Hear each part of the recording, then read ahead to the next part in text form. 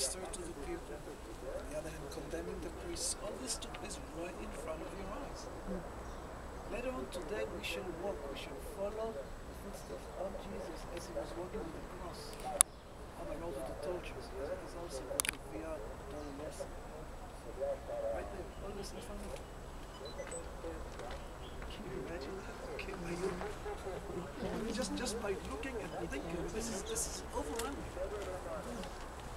And when the city was destroyed, again, just as Jesus prophesied, years went by and it was taken by the Muslims. So when we came back, about a hundred years ago to our homeland, this place was inhabited. That's a tragedy of this place because there are other hundreds of millions of people who also look at this very place. You know, what? pretty much like